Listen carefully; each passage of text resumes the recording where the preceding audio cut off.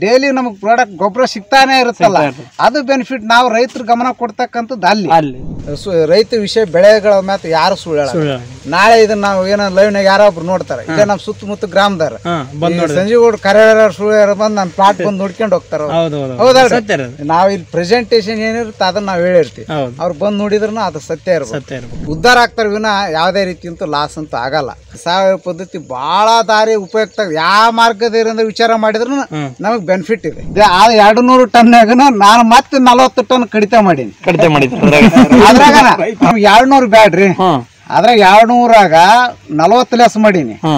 ಒಂದು ನೂರ ಅರವತ್ತು ಟನ್ ಬಂದ್ಬಿಟ್ರೆ ನಮ್ ಹಿಡ್ದಾರ ಇಲ್ಲ. ಒಳ್ಳೆ ರಿಸಲ್ಟ್ ಅಂತೂ ಗುಡ್ ನಾವು ಇದನ್ನ ಬಿಟ್ಟು ಬೇರೆ ಅದಕ್ಕಂತೂ ಉಪಯೋಗ ಹೋಗೋ ಅವಶ್ಯಕತೆನೇ ಇಲ್ಲ. ಯಾಕಿಲ್ಲ ಅಂದ್ರೆ ನಮ್ಗೆ ಒಳ್ಳೆ ರಿಸಲ್ಟ್ ಮತ್ತೆ ಬೇರೆ ಅವಶ್ಯಕತೆ. ಹಂಗಾಗಿ ಚೆನ್ನಾಗೈತೆ.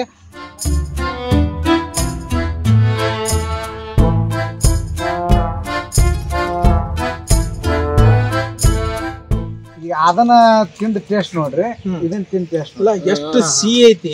ಆಮೇಲೆ ಮಿದು ಐತಿ. ಮಿದು ಐತಿ ಮಿದು ಐತಿ. ಒಟ್ಟ ಹಾರ್ಡ್ ಇಲ್ಲ ನಾವಿಗೆ ಕರ್ಕೊಂಡ್ಬಿಡ್ತದೆ ಬಿಡಿಸುತ್ತಾನೆ ಹೌದಲ್ರಿ ಇದು ಒಟ್ಟ ನಾವಿಗೆ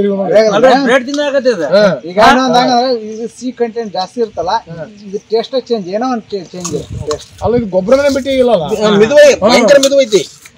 ಆರೋಗ್ಯಕ್ಕೆ ಬಿಟ್ಟು? ಆರೋಗ್ಯಕ್ಕೂ ಚಲೋ ಅಲ್ರಿ ಈ ಕಬ್ಬು. ಆರ್ಗ್ಯಾನಿಕ್ ಕಬ್ಬು ಬೆಳೆದೈತಿ. ಸಾವಯವ ಬೆಲ್ಲ ಮಾಡಕತ್ತಾರ ಈಗ ಮಾರ್ಕೆಟ್ ಒಳಗ ಅದು ಬೇಡಿಕೆ ಹೆಚ್ಚಾಕತೈತಿ ಆರ್ಗ್ಯಾನಿಕ್ ಬೆಲ್ಲಕ್ಕ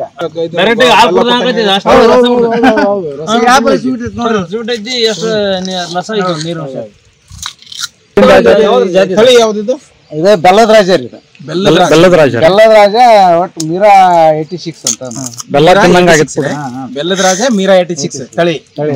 ಬೆಲ್ಲ ತಿಂದಂಗ ಆಗತ್ತ ಸಾವಯವ ಕೃಷಿಯಲ್ಲಿ ಒಳ್ಳೆ ಬೆಸ್ಟ್ ಬೆಳೆ.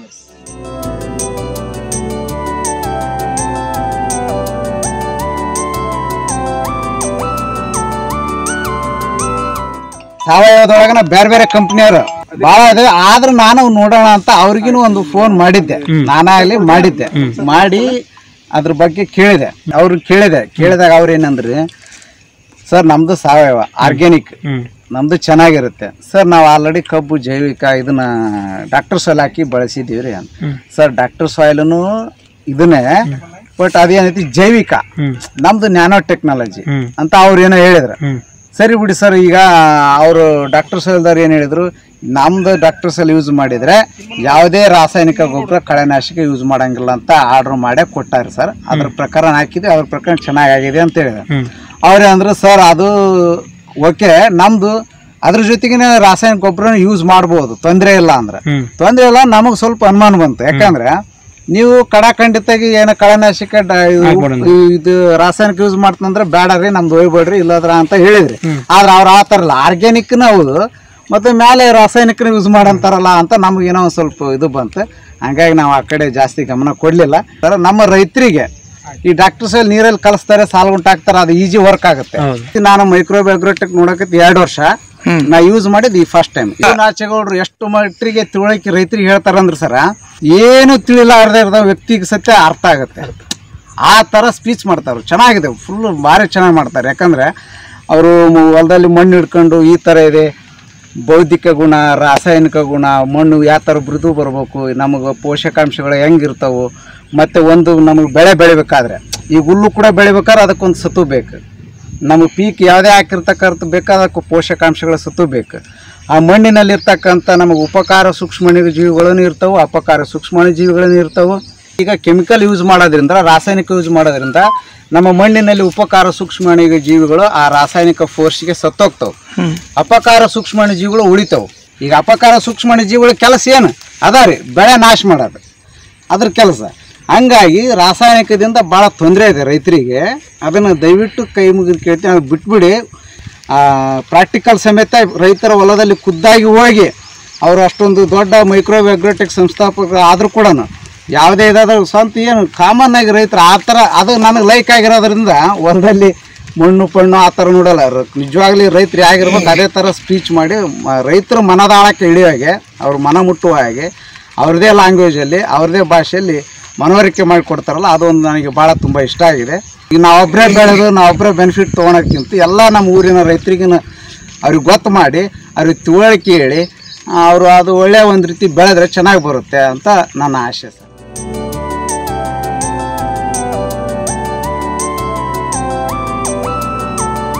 ನನ್ನ ಹೆಸರು ಸಂಜೀಗೌಡ ಅಂತಾರೆ ಸರ್. ನಮ್ದು ಇದು ಕೊಪ್ಪಳ ತಾಲೂಕು ಕುಣಿಕೇರಿ ಗ್ರಾಮ ಸರ್. ಇದು ನಮ್ಮದು ಮೂರು ಎಕರೆ ಕಬ್ಬಿನ ತೋಟ ಸರ. ನಾವು ಸಾವಯವ ಪದ್ಧತಿಯಲ್ಲಿ ಡಾಕ್ಟರ್ ಸಾಲ್ ಯೂಸ್ ಮಾಡಿ ಕಬ್ಬು ಬೆಳೆದಿದ್ದೀವಿ. ಇದು ಎಂಟು ತಿಂಗಳು ಕಬ್ಬು ನೋಡ್ರಿ ಸರ್. ರಾಸಾಯನಿಕ ಮಾಡ್ತಿದ್ವಲ್ರಿ ಅದಕ್ಕೆ ಕಳೆ ಜಾಸ್ತಿ ಬರ್ತಿತ್ತು ಆ ಥರ ಆಗಿ ನಮಗೆ ಅದು ಖರ್ಚು ವಜ್ಜ ಬರ್ತೈತಿ. ಕಸ ತೆಗ್ಸಕ್ಕೂ ದುಡ್ಡು ಕೊಡ್ಬೇಕು ಮತ್ತೆ ಗೊಬ್ಬರ ಹಾಕಾಗನು ಕೊಡ್ಬೇಕಲ್ಲ ಖರ್ಚು ಜಾಸ್ತಿ ಬರೋದ್ರಿಂದ ಈಗ ರಾಸ ಇದು ರಾಸಾಯನಿಕ ಬಿಟ್ಬಿಟ್ಟು ಸಾವಯವ ಪದ್ಧತಿಯಲ್ಲಿ ಮಾಡೋದ್ರಿಂದ ನಮಗೆ ಇದು ಕಬ್ಬಿಗೆ ಮೂರು ಎಕರೆ ಮಾಡಿವಲ್ಲ ಸರ್ ಇಷ್ಟುವರೆಗೆ ಅದು ಎರಡೇ ಎರಡು ಸಲ ಕಳೆ ತೆಗಿಸಿದ್ವಿ ಕಳೆ ತೆಗ್ಸಿವಿ. ಕಳೆ ತೆಗಿಸಿ ಮೂರೆಟ್ಟು ಡಾಕ್ಟರ್ ಸೆಲ್ ಹಾಕಿವಿ ಎರಡೆಟ್ಟು ಸ್ಲರಿ ಹಾಕಿವ್ರಿ. ಹಂಗಾಗಿ ಇದು ಒಳ್ಳೆ ಉತ್ತಮ ಬೆಳೆ ಬೆಳೆ ಬರಾಕತೈತಿ ಬಂದೈತ್ರಿ. ಒಂದು ಸಾಲಿಗೆ ಎಷ್ಟು ಗಳ ಅಂತ ನಾವು ಕ್ಯಾಲ್ಕುಲೇಟ್ ಮಾಡಿದೀನಿ ಕ್ಯಾಲ್ಕುಲೇಟ್ ಮಾಡ್ಬೇಕಾದ್ರೆ ನಾನು ಒಂದು ಒಂದು ನೂರ ಇಪ್ಪತ್ತಾರು ಸಾಲ ಅದಾವ್ರಿ. ನಾಲ್ಕು ಫೀಟಿನ ಸಾಲ. ಎವರೇಜ್ ಒಂದು ವರ್ಷ ಬೆಳಿಗ್ಗೆ ಪೂರ್ತಿ ಇನ್ನು ನಾಲ್ಕು ತಿಂಗಳು ಬಿಟ್ಬಿಟ್ಟು ಒಂದು ಗಳ ಎರಡ ಕೆ ಜಿ ಹಿಡಿದೀನಿ ಎರಡು ಕೆ ಜಿ ಒಂದ್ ಲಕ್ಷ ಇಪ್ಪತ್ತಾರು ಸಾವಿರ ಇಂಟು ಎರಡು ಮಾಡಿದ್ರಿ. ಎರಡು ಲಕ್ಷ ನಲವತ್ತೆಂಟು ಸಾವಿರ ಕೆ ಬರ್ತದೆ. ಹೌದು. ಹೌದ್ರಿ? ಅದ್ರಂತ ಎರಡು ಲಕ್ಷ ನಲವತ್ತು ಎರಡು ನೂರ ನಲವತ್ತು ಟನ್ ನಿರೀಕ್ಷೆ ಐತಿ. ಬೇಡ ನಮ್ಗೆ. ಎರಡು ನೂರ ನಲವತ್ತು ಬ್ಯಾಡ್ರಿ. ನನಗೆ ಅದು ಏನೋ ಕಾಟ ಏನೋ ಬಂದ್ರು ಏನೋ ಕಡಿತ ಪಡಿತ ಏನದ ಆದ್ರೂ ಎವರೇಜ್ ನಮಗೆ ಎರಡು ನೂರು ಟನ್ ಅಂತ ಹಿಡಿದೇನ್ರಿ. ಮ್ಯಾಗಲ್ದ ಅರವತ್ತು ಟನ್ ಲೆಸ್ ಮಾಡೀನಿ. ಸರ್ ನಮ್ಗೆ ಎರಡು ನೂರು ಬ್ಯಾಡ್ರಿ. ಆದ್ರೆ ಅದ್ರಾಗ ಎರಡು ನೂರಾಗ ನಲವತ್ತು ಲೆಸ್ ಮಾಡೀನಿ. ಒಂದು ನೂರ ಅರವತ್ತು ಟನ್ ಬಂದ್ಬಿಟ್ರೆ ನಮ್ನ ಹಿಡ್ದಾರ ಇಲ್ಲ. ಯಾಕಂದ್ರೆ ಹೇಳ್ರೆ ನಾವಿಲ್ಲಿ ರಾಸಾಯನಿಕ ಹಾಕಿ ಇಲ್ಲಿ ಬೆಳೆದಂತ ಅಗ್ದಿ ಎಷ್ಟು ಬೆಳೆದಾರ ಒಂದ್ ಐವತ್ತು ಟನ್ ಬೆಳೆದಾರ. ನಮ್ಮೂರ ಫೈನಲ್ ಅಗ್ದಿ ನೀರ್ ತಪ್ಪಲಾರ್ದಂಗ ರಾಸಾಯನಿಕ ಕರೆಕ್ಟ್ ಹಾಕಿ ಬೆಳೆದದ್ ಬೆಳೆದ್ ಐವತ್ತು ಟನ್ ಎಕರೆಗ. ನಮ್ಗೆ ಅದ್ರ ಜೊತೆಗೆ ಇನ್ನೊಂದು ಬೆನಿಫಿಟ್ ಸರ. ಅದನ್ನ ನಾವು ಗಮನದಲ್ಲಿ ಇಟ್ಕೋಬೇಕು. ರೈತರಾದಾರ ಆಧಾರ. ನಾವು ರಾಸಾಯನಿಕ ಹಾಕಿ ಪೀಕ್ ತಕೊಂಡು ಹೋಗ್ತೀವಿ. ಆದ್ರೆ ಭೂಮಿ ಸತ್ತು ಕಳ್ಕೊಂತೀವಿ ಹೌದು.